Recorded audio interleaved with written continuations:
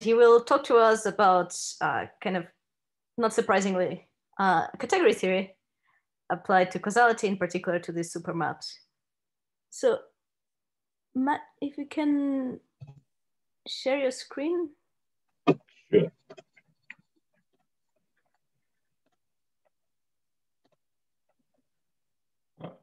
Just send it to full screen. Cool. Go ahead. Great, thanks. So yeah, cheers for the introduction. Um, and thanks very much to QPL for putting this on. It's been really fun so far. And um, yeah, so this is uh, joint work between myself and one of my supervisors, Giulio Chiribella. Um, and the goal of the talk uh, is in two parts. So we want to introduce what we claim are going to be some kind of abstract notions for what higher order physical theories are. And once we've given those, we want to explore the consequences of importing some pretty basic physics inspired principles into these higher order theories. So the kinds of principles we're going to be looking at are things like the consequences of our theories being deterministic and the consequences of some very, very kind of some very primitive restrictions on, on the kinds of spatial correlations we have.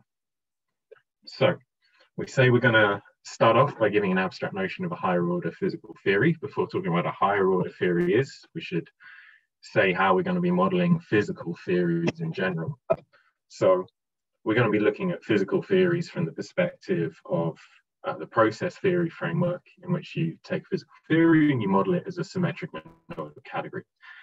That means that the, the fundamental structure of your theory is that you have some kind of systems, you have processes that act between the systems, and you have two notions of composition of these systems. These systems can be put together in sequence, or they can be put next to each other in parallel. So essentially, the theories in which the main axiom is you can draw circuit diagrams. So um, these have kind of given an, uh, a separate perspective uh, on quantum foundations and also in a kind of two-pronged attack also provided a, a, new kind of convenient diagrammatic language for reasoning with quantum processes. So that's our basic toolbox. Uh, and now for the higher order bit. So the thing we want to, to model um, is essentially the notion of a supermap. And the classic example is the notion of a quantum supermap. So quantum supermap is a transformation on the space of processes in quantum theory. So I take some quantum processor, some quantum process, uh, typically some kind of completely positive trace preserving map. And a supermap will be something that I can apply to that kind of map um, to get a new quantum process. So talking about the kind of transformation of the processes gives you a framework for studying protocols in which channels themselves are treated as resources or even the supermaps themselves are treated as resources. And they also provide a framework in which you can start talking about things like quantum causal structures. So you can start talking about using uh, qubits, using quantum controls to decide the ordering of parties, to decide how different boxes, the order in which different boxes are going to be routed together. Great. So that's the kind of thing we want to model. Um, there's an extra thing we want to model, which is uh, once you've started talking about the transformations you can do to processes, um, why stop there? Why not start thinking about the transformations you can do to those transformations of processes and etc. So once you've thought about uh, super maps, you start thinking about super super maps, etc. And you don't stop thinking.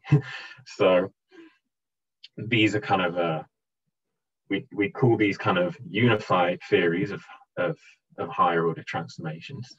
Um, and there's already a really nice piece of work uh, on putting together kind of the, process theory perspective um, and the notion of a unified higher order theory, in which from any sufficiently well behaved uh, raw material process theory, uh, the notion of a higher order causal category can be constructed. Uh, so the reference to that is here. Um, And in this higher order category, you have analogs of things like the deterministic quantum processes, but also analogs of things like the transformations that preserve the deterministic quantum processes and the even higher order um, kind of iterations of those motions as well. So this cause C, this higher order causal category, um, has a couple of properties. One of them is, is being closed monoidal and a kind of additional extra uh, property that has above that is a notion of being star autonomous. And it's this property being closed monoidal that essentially means you, you, you have the structure of these transformations of lower and higher order types. Great. So what do we want to add? Uh, oh, and sorry, yeah. And these kinds of notions are also the notions that are used in developing quantum generalizations of higher order, of languages of higher order computation. So things like quantum lambda calculus. So what do we want to add to the story?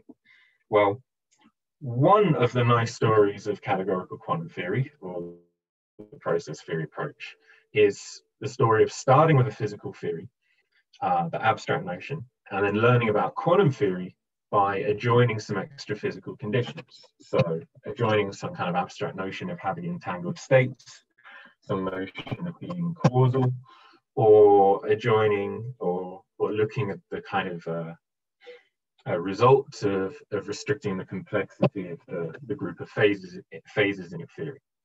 So we want to kind of take that route to thinking about these higher order theories. So we want to start by stating our basic notion of a higher order physical theory, and then see what we can learn about these higher order quantum theories, for example, by adjoining physical principles from there. So we did some previous work, which should be on the arXiv soon in this direction. Um, we started by giving what we claim would be a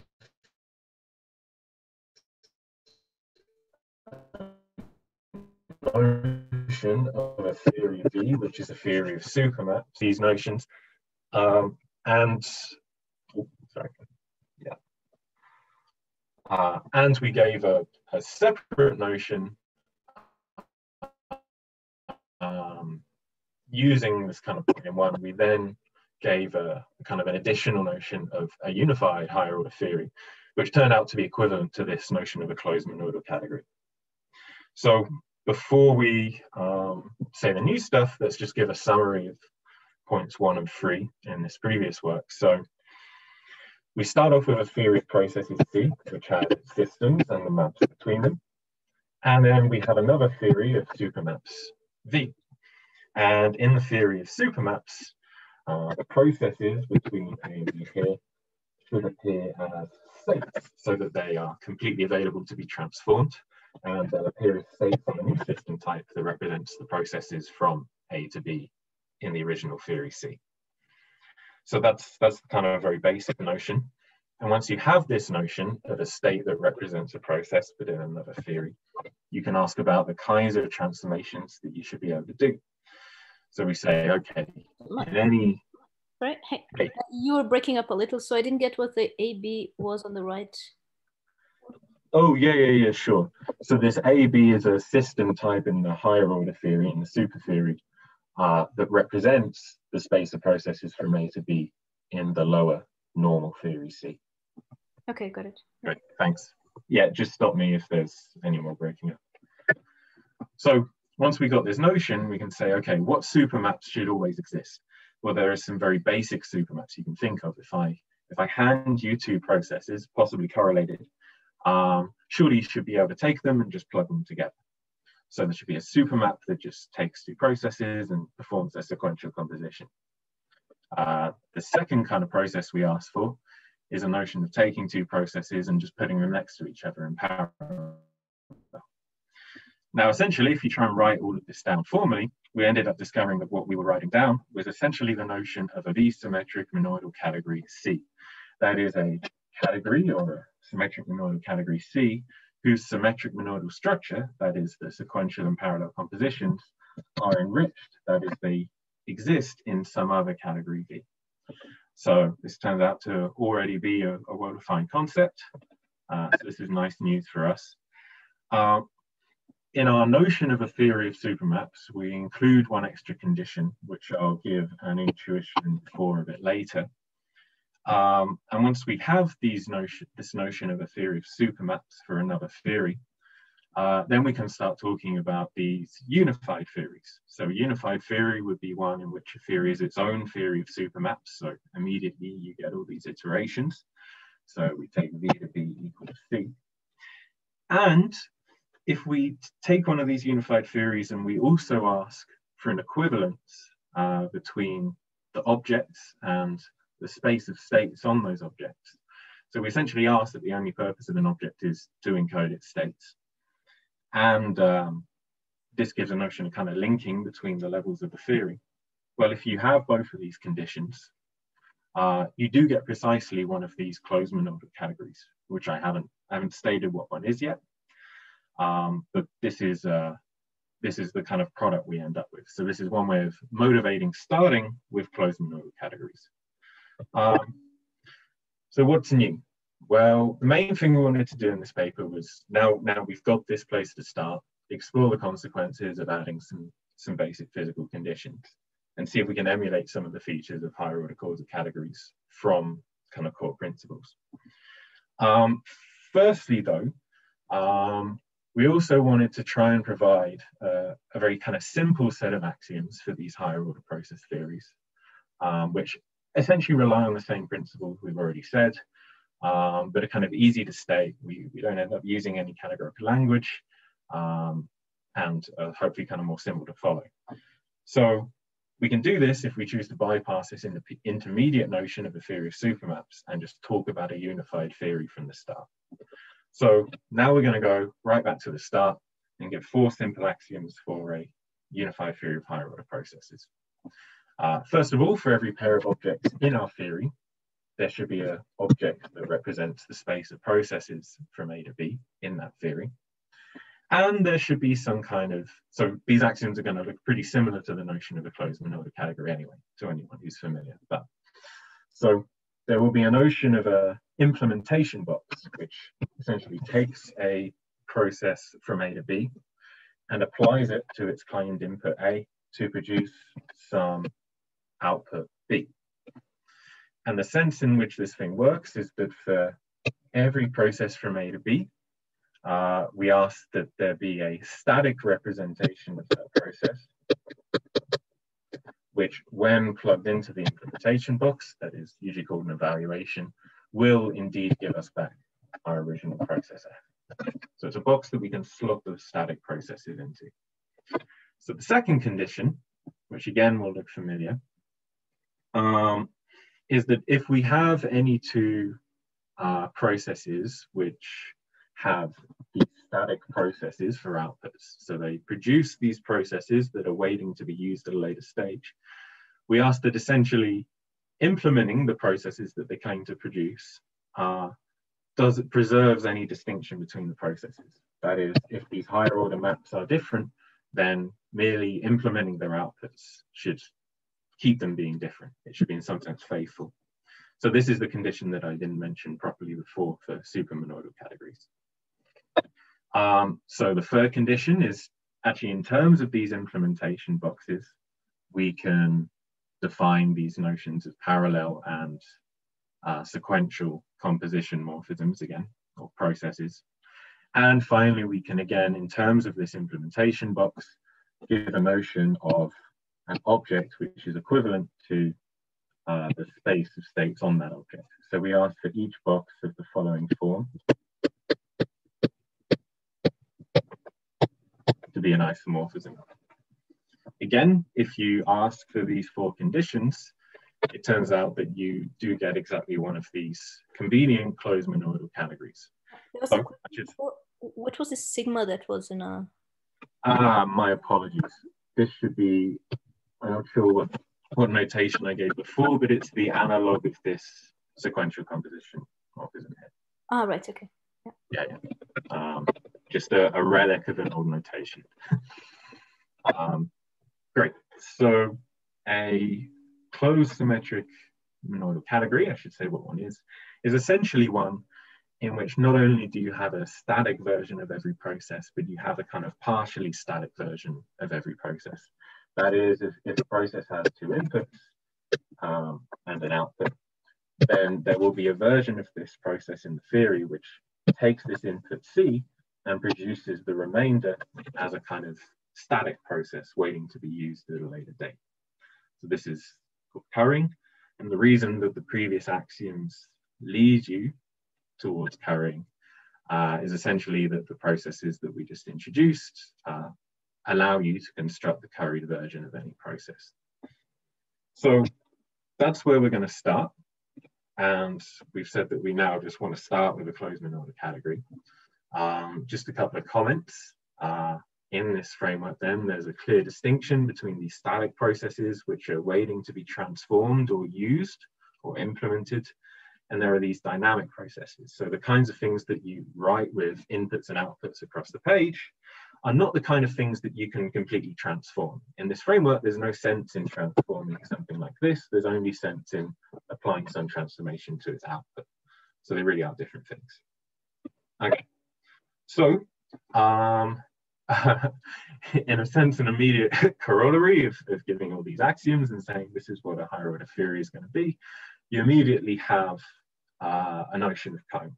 Like all of these immediately exist in the theory. So imagine writing down uh, your favorite um, circuit with a hole in it.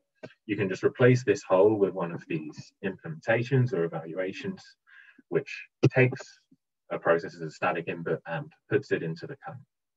Now this picture is not quite the normal notion of comb that gets written down because the output of it is, is, is actually kind of happening along the page.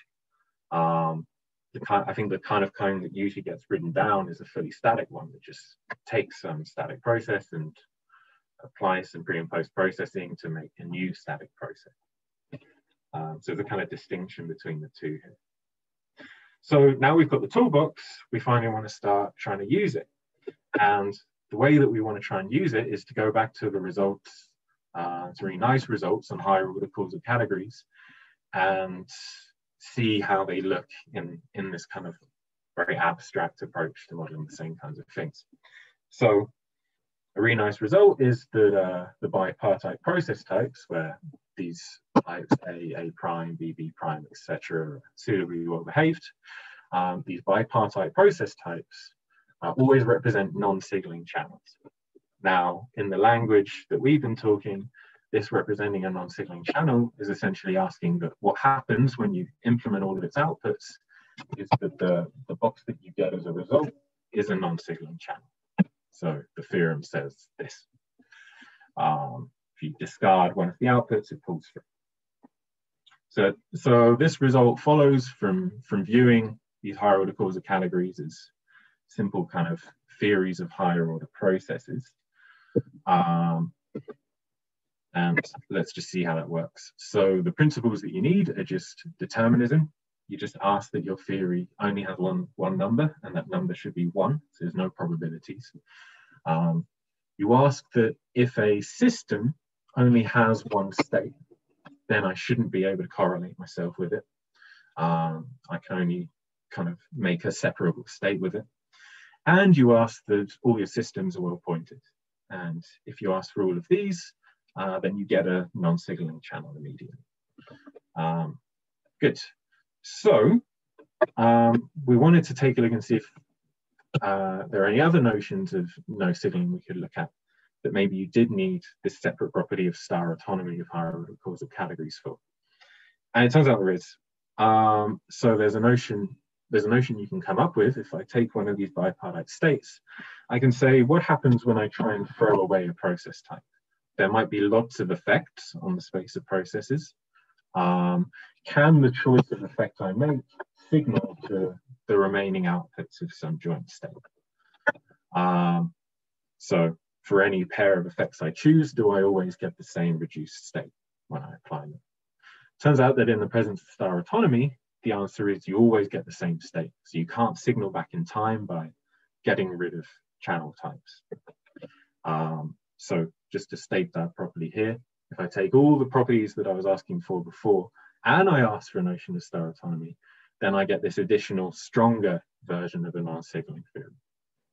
Um, great, so I think I'm pretty much, yeah, okay. So it looks like I'm pretty much out of time, so I'll just summarize. Um, minutes still. Sorry, what's that?